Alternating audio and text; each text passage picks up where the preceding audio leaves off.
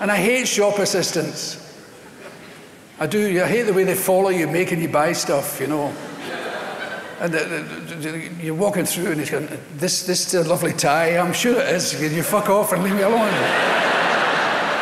These shoes would go lovely with that tie. I didn't buy the tie, now fuck off. but Barney's have got a lot more class than that. And there was two of them standing talking. And you could see them looking at me and saying, what's he doing in here, that ragamuffin? look at him. Just look at the fucking state of him.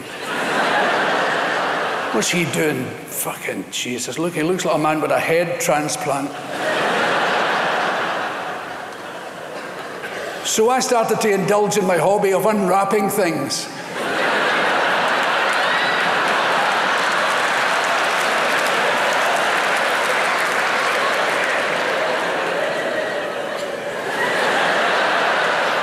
You could see them going, You bastard.